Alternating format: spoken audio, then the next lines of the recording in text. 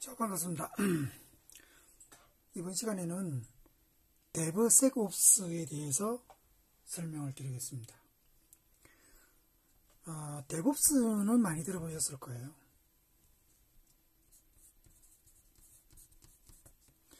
DevOps는 많이 들어보셨을 거예요. 근데 DevOps에다가 보안을 연계시키면 그게 바로 데브섹옵스가 됩니다. 데브옵스의 IT 개발부터 배포, 운영, 관리 이르기까지 전 영역이 보안과 연계된 것으로 보안을 공동의 책임으로 간주하고 전체 영역의 보안 기반을 구축하는 겁니다. 즉, DevOps는 개발 단계의 운영팀, 여기서 말하는 운영팀은 단순하게 operation 하는 팀이 아닙니다. 재무 담당일 수도 있고, compliance 팀일 수도 있고, 사내 전사 조직이 될 수도 있습니다. 어쨌든 개발과 운영이 동시에 동시에 협업해서 업무를 진행하는 것을 DevOps라고 한다면 한다면 거기에 전 라이프 사이클 영역에 보안과 연계된 것을 공동의 책임으로 간주한다는 겁니다. Gartner가 DevOpsSec이라고 하는 2012년도에 소개를 했습니다. 또 다른 표현으로는 DevOps 2.0이라고 합니다. 참고로 알아두시고요. 그러니까 어, DevSecOps가 나오든 DevOps 2.0이 나오든 보안이 협업화된 거다라고 보시면 되겠습니다. DevOps를 실행하지만 그 과정의 핵심에 보안을 적용하지 않으면 DevOps를 적절히 수행하는 것이 아니다. 보안을 강조했죠. 그렇다고 해서 보안이 모든 것을 주물러야 한다는 뜻은 아니다. 왜냐하면 그렇게 되면 모든 것이 마비되기 때문이다. DevOps 사이클에 보안이 포함되도록 설계하면 된다. 그것이 DevSecOps다. Red Hat의 수석 보안 아키텍트인 마이클 버셀이 표현한 겁니다. 즉, DevOps가 기본이 되되 그 사이클에 보안을 포함시키자는 주장입니다. 그래서 이런 거, 지금 보시는 것 같은 이런 그림이 되는 겁니다.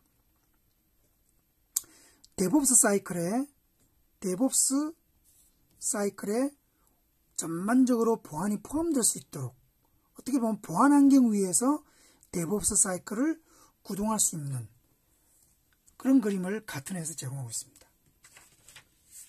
그러면 데브옵스의 구성 요소이자 아, 죄송합니다. 데브섹옵스의 구성 요소이자 데브섹옵스를 구축하는 방법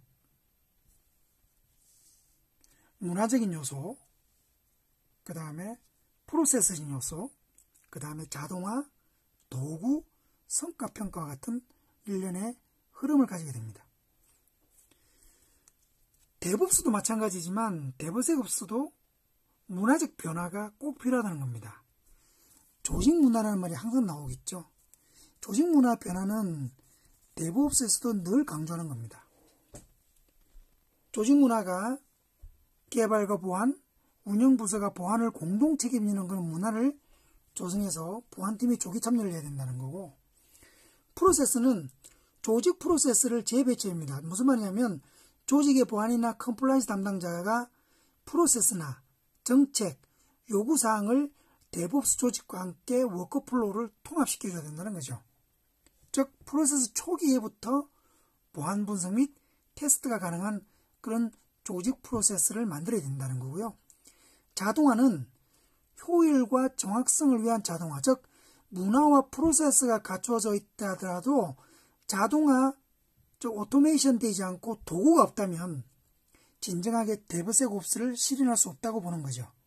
즉, 첫 번째, 두 번째는 문화 프로세스를 만들고, 그 다음에 보안성 테스트나 보안 공유 저장소 생성이나 DevOps를 위한 보안 절차를 단순화하는 이런 것들을 전부 자동화해서, 자동화해서 처리할 수 있는 환경이 돼야 된다는 거고, 아울러 DevOps와 효과적으로 연결할 수 있는 적절한 도구가 선택되어야 된다는 거죠.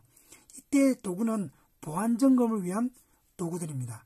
즉 commit 전에 보안 파악한다든지 commit 전 코드 검사한다든지 동적 어플리케이션 보안 테스트 도구 등 이런 것들이 전부 다 DevOps의 CI나 CD 파이프라인과 도, 보안 tool 간의 유기적 결합이 필요하다. 즉 보안 tool의 유기적 결합이 필요하고 DevOps와 CI와 CD 파이프라인과 연결돼야 된다. 이게 결국은 자동화하고도 좀 맞물리게 되는 거죠. 끝으로 성과평가가 돼야 된다.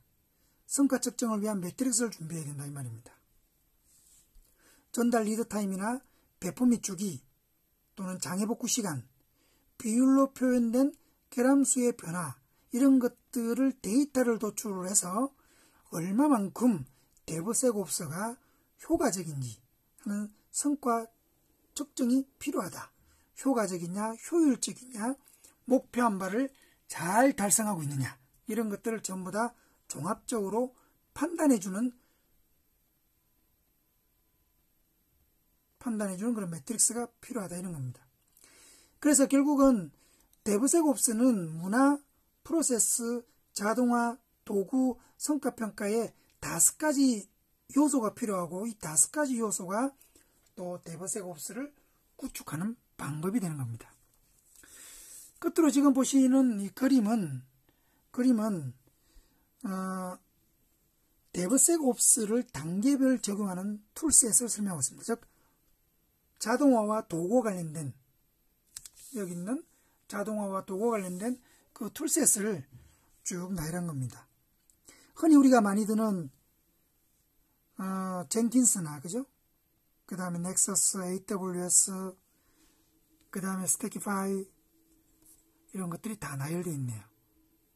그 이런 tool들이 있다는 걸 전부 다 아실 필요는 없고요. source code로부터 모니터링 넘어가는 deploy 모니터링 넘어가는 이 단계에서 각각의 tool들이 적절하게 구사되고 있더라. 이런 정도만 일단 이해하시면 좋지 않을까 싶습니다. 수고하셨습니다.